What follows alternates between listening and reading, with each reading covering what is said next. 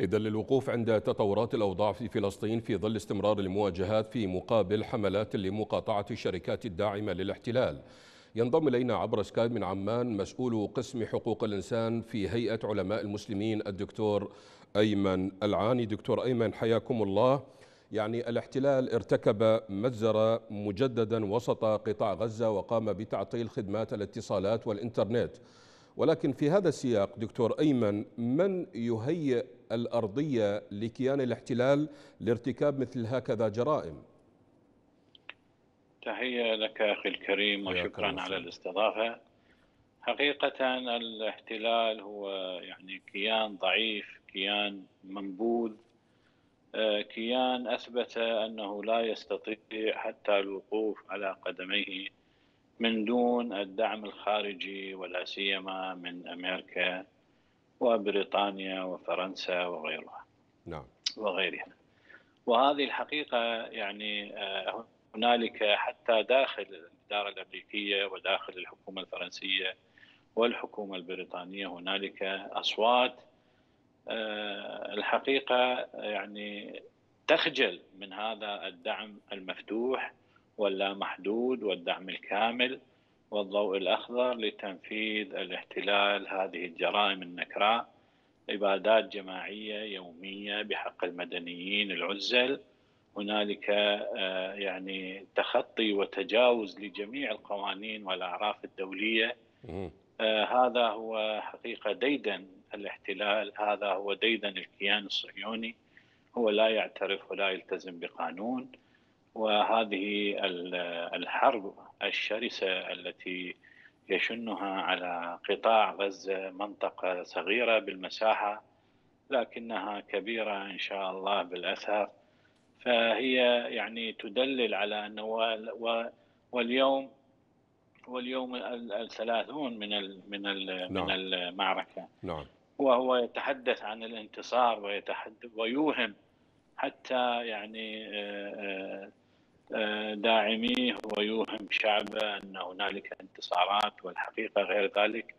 ولو كان منتصرا بشكل يعني ولو بشكل بسيط لفتح للعالم من دون قطع الاتصالات ومن دون عزل القطاع لكن هو يخفي خسائر الفادحة التي يتكبدها يعني يوميا على أيدي المقاومين الفلسطينيين.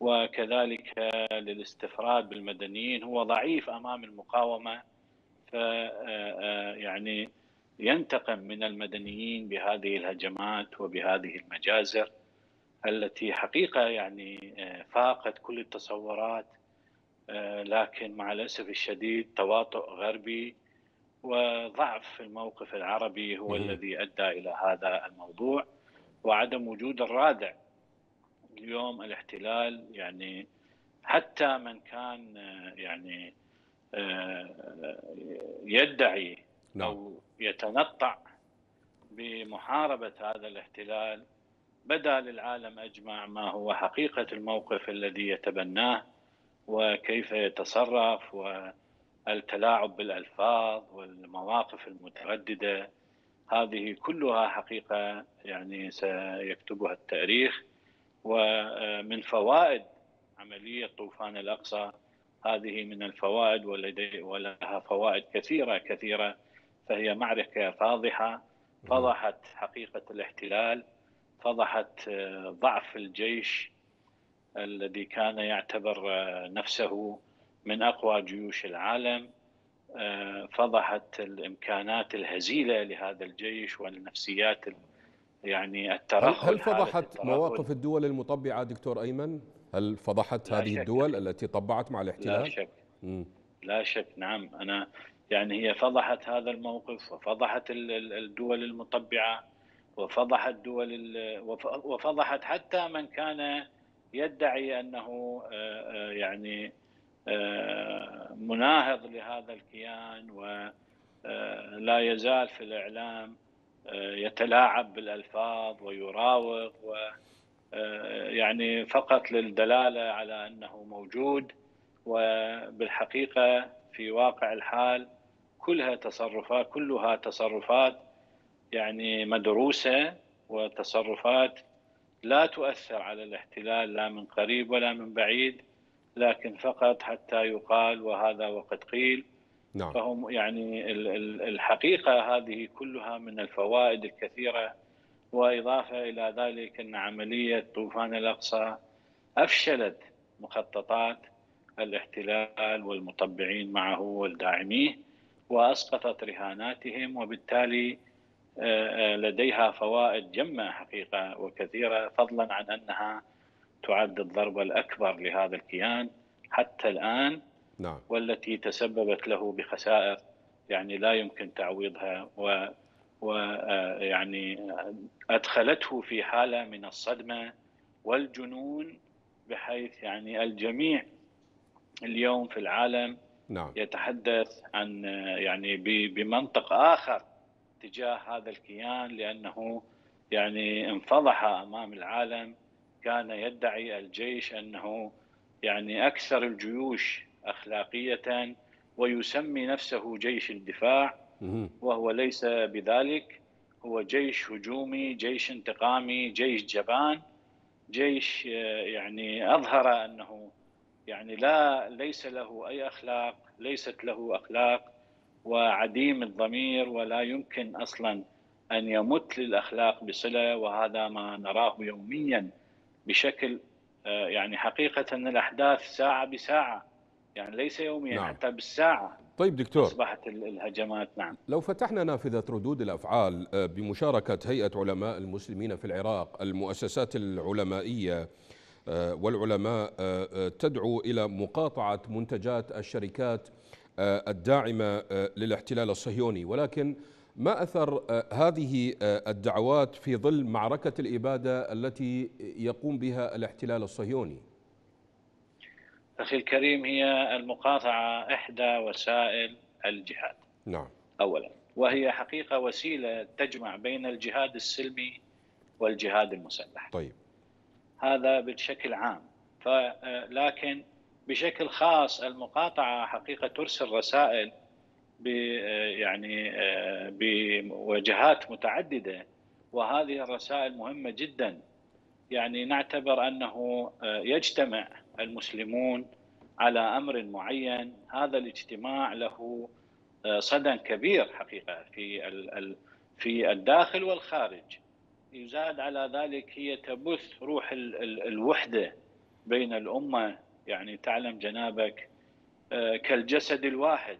نعم. فهذا يعني يعطي رسالة إلى الداخل في فلسطين أن الأمة كل الأمة معهم الشعوب العربية والإسلامية. كل هذه الشعوب حقيقة يعني آه، آه، يعني لا لا أبالغ إذا أقول حتى من غير المسلمين العرب غير المسلمين بادروا إلى المقاطعة لأنهم يعني آه، يشاركون الكثير من المشتركات بيننا.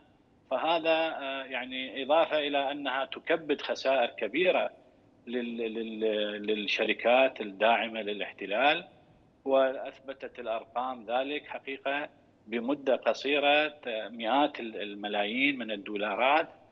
آه، هذا طبعا تبعث رسالة أيضا ردع نعم. لمن يفكر في أن يقدم على أمر يغضب المسلمين فهذا يفكر ألف مرة قبل أن يقدم على هذا الأمر لأنه يعني تنتظره المقاطعة والحرب الاقتصادية جنابك يعني آه، أقوى بكثير حقيقة هذه الأيام من الحرب التقليدية لأنها آه، تتضمن آه، يعني مستويات وحقول كثيرة تؤثر بشكل مباشر نعم. فضلا عن أنها طبعا تشجع أيضا على الإنتاج الإنتاج المحلي يعني نشطت الإنتاج المحلي ويعني تعلم جنابك ويعلم المشاهدون أن مع الأسف الأمة العربية يعني هي أمة مستهلكة نعم. وليست يعني منتجة. منتجة. نعم طيب آه، دكتور آه فالمصيبة يعني الأكبر عندما تكون مستهلكة لمنتج ينتجه العدو. نعم. طيب دكتور آه، آه، أرحب باسمكم من بيروت عضو الأمانة العامة للمؤتمر الشعبي الفلسطيني طارق عكاوي. أستاذ طارق حياكم الله مرحبا بكم. يعني كما تستمعون إلى الأخبار المتواترة من قطاع غزة آه، قتلى وجرحى بالعشرات بمجزرة نفذها الاحتلال من خلال مئة غارة على غزة. ولكن السؤال المطروح دائما لماذا وتيرة المجازر تتصاعد بعد زيارة المسؤولين الأمريكيين والأوروبيين إلى قطاع غزة؟ ما السبب في ذلك؟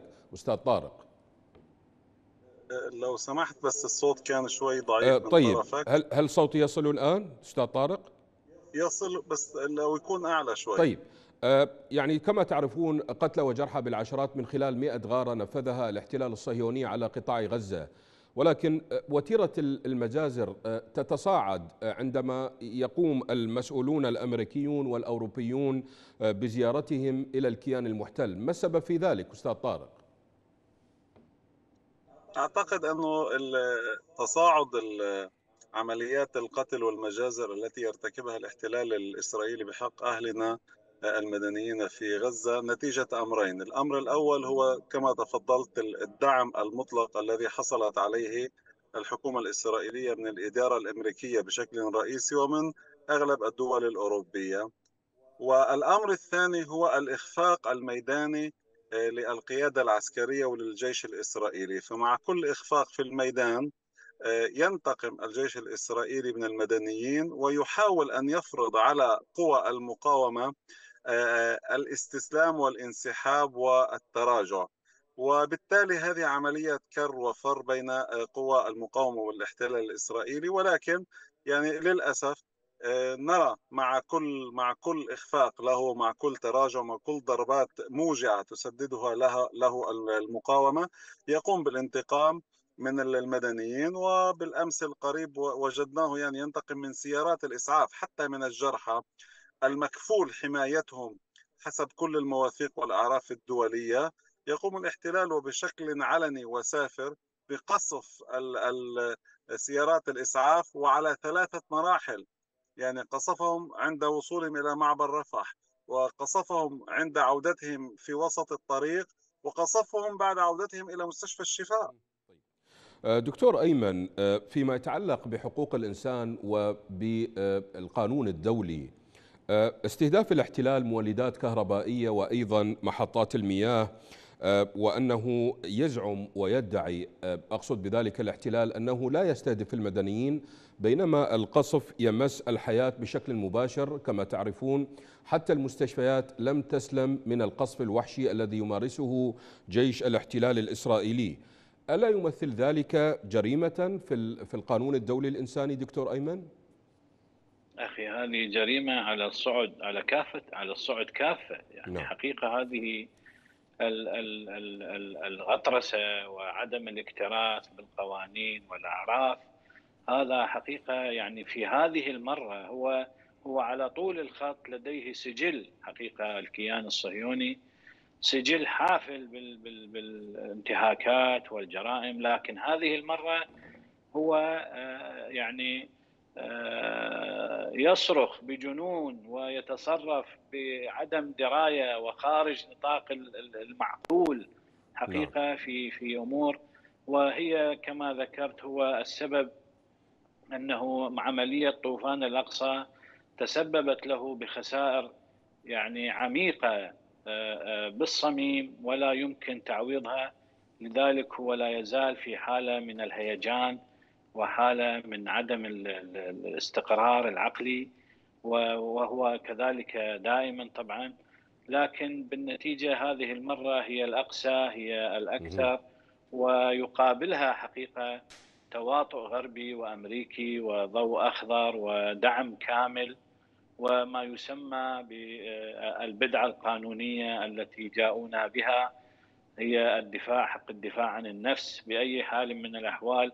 الذي يركب الدبابة والذي يمتلك الطائرات والذي يمتلك هذه الترسانة العسكرية الحديثة والمتطورة والفتاكة اي اي بأي حال من الأحوال لديه حق الدفاع أمام مدنيين عزل أو مقاومين يدافعون عن عن أرضهم وعن شعبهم وعن تاريخهم وعن دينهم هذا كله حقيقة يعني آه، أمور تظهر ازدواجية المعايير وتظهر هذا النظام العالمي المسخ حقيقة بقيادة أمريكا أمريكا نعم. فهي نعم بالنتيجة لدينا مشكلة أخلاقية كبيرة. نعم. وحتى من داخل الإدارة الأمريكية اليوم يقول بعض يعني بعض مساعدي بايدن يقولون أننا يعني بصدد هجوم غير أخلاقي على الفلسطينيين نعم هي تخوض دكتور أيمن هي تخوض حربا قذره بحسب المراقبين نعم. السياسيين وأيضا العسكريين انتقل نعم. في هذه النقطة إلى الأستاذ طارق أستاذ طارق لو تحدثنا بمنطق الربح والخسارة شهر كامل على استمرار القصف الصهيوني على المدنيين في قطاع غزة ولكن كيف ترى نتائج العملية بميزان الربح والخسارة من الناحيتين العسكرية والسياسية. يعني أخي الكريم كما تفضلت أنت وضيفك الكريم حجم الخسارة عند العدو الإسرائيلي كبيرة جدا بالبعد الاستراتيجي.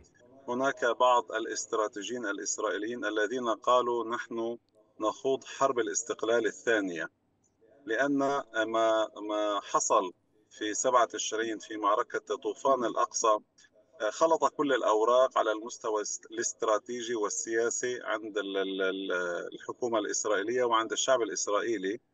الذي ظن أنه أن أرض فلسطين هي أرض الميعاد له وهو مستمر فيه فيها وباق فيها وبالتالي قد انتهى الصراع الإسرائيلي الفلسطيني وانتهى الصراع الإسرائيلي العربي وبدأ مرحلة جديدة من التطبيع مع أغلب الدول العربية. ورأينا الاتفاقات الإبراهيمية وما إلى ذلك فهو ظن أن القضية الفلسطينية تمت تسويتها وتم الانتهاء منها وهناك مجموعة من الفلسطينيين الذين لا يزالوا يعيشون ضمن حدود الدولة الإسرائيلية بين قوسين وبالتالي في أي فرصة قادمة سيتم عمل ترانسفير لهؤلاء الناس وتصبح الأرض كاملة هي المجال الحيوي وهي مجال الدولة الإسرائيلية. طيب. عملية طوفان الأقصى أعادت خلط الأوراق وأعادت للقضية الفلسطينية اعتبار اعتبارها فأصبحت القضية الأولى على كل وسائل الإعلام. أثبتت أن انسداد الأفق السياسي وتراجع الدور الدولي في إعطاء الفلسطينيين حقوقهم على مدى أكثر من 30 عاما منذ انطلاق عملية السلام في مدريد إلى اليوم لم يتم حل هذا الأمر. وقد احتفلنا حتى بالأيام القليلة الماضية بذكرى 30 على 30 سنة على توقيع اتفاقية أوسلو التي لم تجلب, تجلب للفلسطينيين سوى الدمار.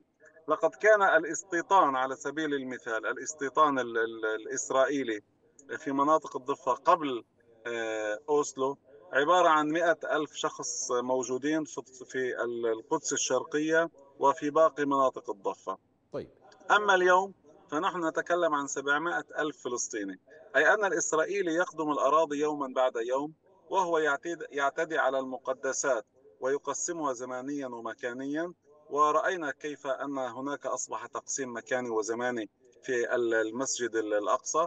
وهو يشعر أنه كلما تقدمت الأيام هو يعني يقدم ما يستطيع من هذه القضية وبالتالي وضعها في طي النسيان على المستوى الإقليمي والمستوى الدولي. جاءت هذه العملية لتقول له أن كل هذا التخطيط وكل هذا العمل الذي قمت به على مدى العقود الماضية انتهى ويجب أن نفتح صفحة جديدة. تعيد التأكيد على حق الفلسطيني في البقاء بأرضه. تعيد التأكيد على أنه يجب أن يحصل الفلسطيني على حقه. سواء كان ابن غزة أو الضفة أو اللاجئين أو ما إلى ذلك لأننا نعرف أصلا أن بحدود 60 إلى 70% أصلا من أهل غزة يعني الموجودين الموجودون في قطاع غزة هم من اللاجئين الذين أتوا من عسقلان والرمل وما إلى ذلك. وبالتالي هؤلاء الأشخاص لا زالوا يتمسكون بحقهم في العودة إلى قراهم الأصلية. نعم. فعلى البعد الاستراتيجي لا أنا أرى أنه إحنا حققنا مكاسب كبيرة وضخمة. بالبعد العسكري أثبتت المقاومة أنها قادرة بأدواتها البسيطة بوسائلها البسيطة أن تقارع وتقاوم العدو الإسرائيلي الذي يمتلك أحدث الترسانة العسكرية سواء نعم. كانت من تصنيعه أو بالتصنيع المشترك بينه وبين الإدارة الأمريكية أو حتى بما تلقى من مساعدات من الإدارة الأمريكية على مدى الفترات الماضية أثبت هؤلاء الرجال الذين يتسلحون بالإيمان والصبر والعزيمة وهم أصحاب الأرض المتشبثون بها. نعم. أنهم يستطيعوا مقاومة هذا الاحتلال وتكبيده خسائر آه، لا بأس بها. على المستوى الفلسطيني بالبعد السياسي لا أعتقد أن هناك خسارة بالعكس هناك مكسب لأن ما تحققه ما حققته المقاومة هو مكسب لأهل غزة ومكسب لأهل الضفة ومكسب لأهل 48 ولكل فلسطيني ولكل عربي ولكل حر.